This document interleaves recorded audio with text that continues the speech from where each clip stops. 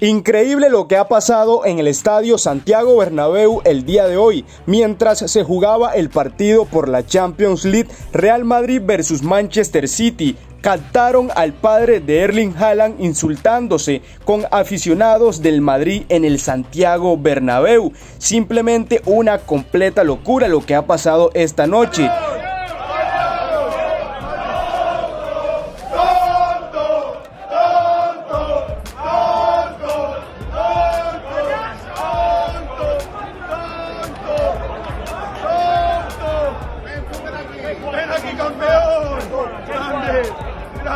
Mientras Erling Haaland no la pasaba nada bien con Rudiger y David Alaba, se podía ver al padre del noruego insultándose y peleándose con los aficionados del Real Madrid. Simplemente una locura lo que ha pasado esta noche con el padre de Erling Haaland mientras se jugaba el partido de la Champions League. Incluso también se puede apreciar cómo llega en un determinado momento la seguridad del estadio y se llevan al padre de Erling Haaland después de estar peleando y insultándose con los aficionados del Real Madrid.